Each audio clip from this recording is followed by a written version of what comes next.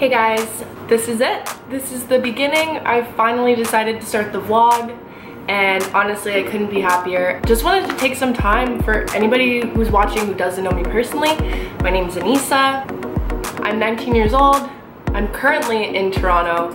I'm not always in Toronto, but I'll explain to you guys a little bit more about that. But I first wanted to start about talking about why I started the vlog, why I wanted to start the vlog, and how long I've been wanting to start the vlog. So I've always been such a creative person. If anybody knows me, they know that I like I like to be expressive in many ways. I like to show people what my interests are. I like to hear about other people's interests. That really inspires me is knowing what other people are up to, what other people are doing. And one day I saw what one person was up to. This person happened to be a vlogger. Since then, I've I've acquired many different role models who do this type of stuff, other creative figures who work in music or photography, but we can get more into that. So I just knew that as a creative person who is in business school, which as those who are taking business know, sometimes it's not all that creative, but obviously anything is what you make of it. But I knew that in my career, in my life, I wanted to have, to have a creative outlet. So that's why I really felt strongly connected to this and this is why I've been wanting to start a vlog for maybe two years now. I also kind of wanted to get into what I've been up to in my life. Um, that's mainly what this vlog is going to be about, obviously, because what else would I be vlogging about? I mean, I do like makeup, I like that kind of stuff. Maybe you'll see a makeup vlog, but not right now. But just to get started, I mean, if you know me from Ottawa, that's my hometown, capital of Canada, and yes, I am so proud to be from Ottawa, one of my favorite cities in the whole world, and every time I go back, I just cherish something more that I, I hadn't cherished when I lived there originally, so I uh, really like returning. This time last year I did know that I was going to be moving to Toronto. I knew that I was going to be starting in a business program at Ryerson University located in the heart of Toronto. And it seemed so strange to me that I was going to leave Ottawa suburbia with all my friends there, um, with a good job that I had, working as a lifeguard and swimming instructor. Honestly, my life in Ottawa was amazing. I was so thankful, so grateful. I have an amazing family back home. Um, so it was weird to think that I was just gonna leave, that I was just gonna go do something different that I knew might be hard, might be difficult, might be extremely scary. And in all honesty, it really was. It was all of those things but it was also amazing and challenging and taught me so much and introduced me to so many cool, amazing people and brought me so many amazing, crazy, fun opportunities. So I wouldn't change anything. And sometimes you have to remind yourself of that, especially when you're young, especially when you're trying new things. It's hard, it's hard to know if you're doing the right thing.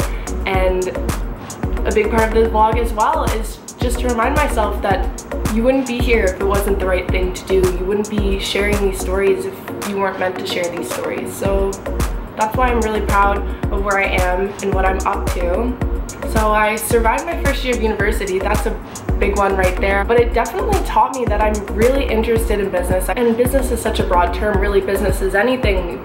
It can be anything and that's what I like about it. You can make it your own and like I said, I love to be creative so I hope I can bring that into play. So finished my first year, decided not to go home. I am a crazy kid who thought, nah, screw it, don't go home and save money. Stay in Toronto and find a cool job and that's what I did. So I'm currently working at the Cineplex Entertainment headquarters, so I'm not gonna tell you guys what I do there quite yet, because I'd love to get into that in more detail another time, because um, there are some big things going on there that I'm sure anybody who's either in Toronto or visiting Toronto will be excited to hear about. So on the topic of staying in Toronto for the summer, I have lined myself up a very amazing, amazing, amazing apartment that I worked so, so, so, so hard to find, so I'm so happy that that worked out. And my best friend and I are going to be living there but only on June 5th and I'm pretty sure today is like May 15th or something but here I am in Toronto so you might ask where am I staying? And the answer is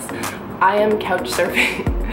So I'm currently at my friend Adam's house. I met Adam at residence where we lived this past year. So we just moved out two weeks ago. He's so amazing for letting me stay here. The week before this I was at my boyfriend's place maybe 40 kilometers outside of the city. Um, was a little far. The commute was hard to work, so Adam was really nice. He's letting me sleep on the sofa It's a huge sofa. I'll show you guys later. It's a nice sofa. But I'm just really thankful that I have a roof over my head.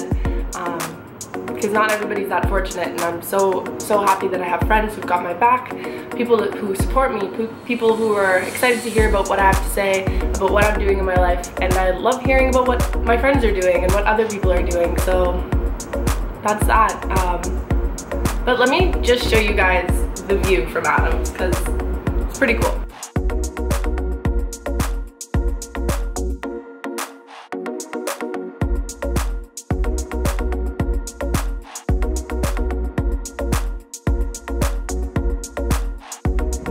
I just wanted to thank you guys so much for watching. I realized when I went to editing that I didn't say goodbye. So cheers to the first vlog.